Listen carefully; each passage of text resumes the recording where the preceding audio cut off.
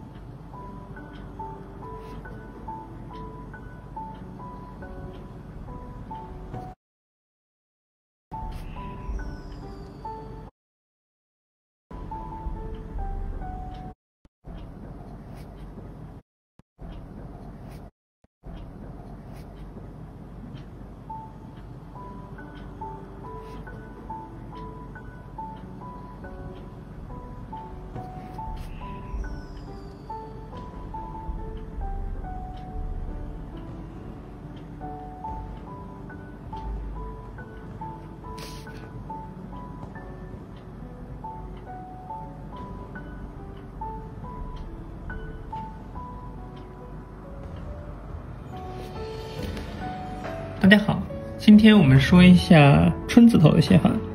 呃，春字头呢，首先看一下这三横，呃，它的那抗尖角度啊，这三横抗尖角度都是一致的，间距也基本上一样。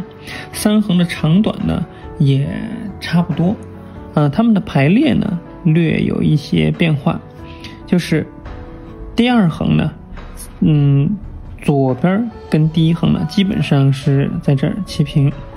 或者稍微长一点也可以，但是右边呢，呃，要比它短一点啊，要比第一横短。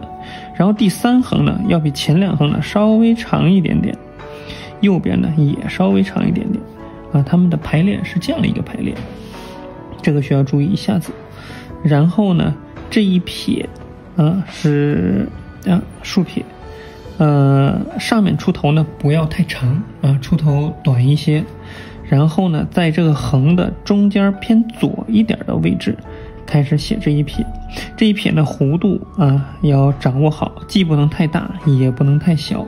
嗯，它，它呢，既不是这种完全的这样的竖撇啊，这是竖的，它不是。它前头呢，略微的有一点点倾斜。嗯，它前头略微有点倾斜，底下呢，略微。弧度将弧度转过来，嗯，要掌握好这个呃弧度的这个角度啊和倾斜角度这一点，嗯是非常重要。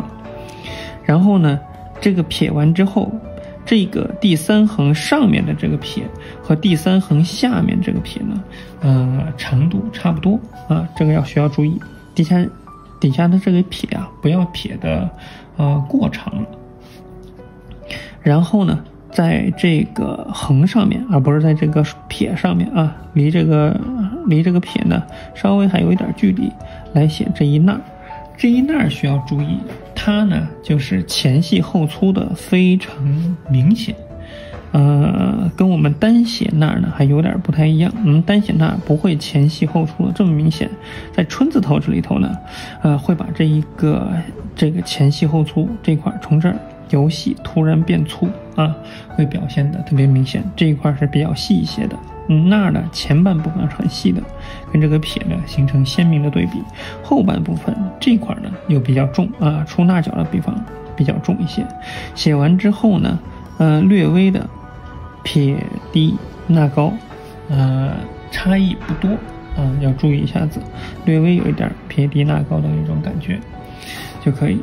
然后呢，这个这个就是撇捺呢，嗯，它们的打开角度也非常重要，啊，既不能把这个撇捺这样打开的太大，啊，打开太大，整个字呢就咧了。但是如果这个撇捺呢又打开的不够，这块的空间就太小，这往里头放相关部件又不够了。所以呢，这个要根据这个字来，要掌握好它的分寸。